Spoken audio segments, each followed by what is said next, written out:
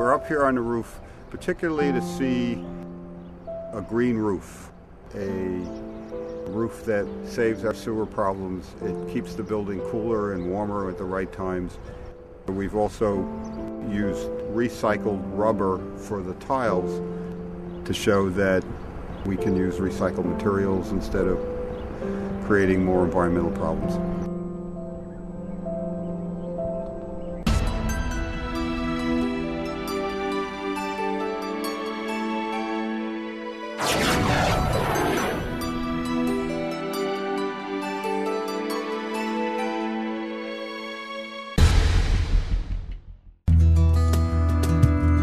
We help clean the air. At the same time, we help low income people keep their costs down so their homes are more affordable to them. I think we help in the world, I would say.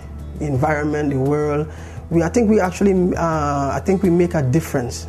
Over 13 years, we have saved low income people uh, something like $10 million in terms of their energy costs. Well, everything that's been done in the house so far has been very helpful. Yeah. Oh, the foam plugs. And do we plaster over them? Yes. Our work will lead to a reduction of carbon emissions in the air of 10,000 tons, which is the equivalent of 2,500 acres of planting green or trees. The City of New York has hired us to be their technical assistant as they try doing for the first time in a low-income building a certified green building. This whole building has every kind of thing that we would want to do a green building and uh, will get certification. Everyone was afraid that you couldn't do low income housing because it would be 20, 30% more. We're coming in at like 5% more, which is not a significant amount more at all.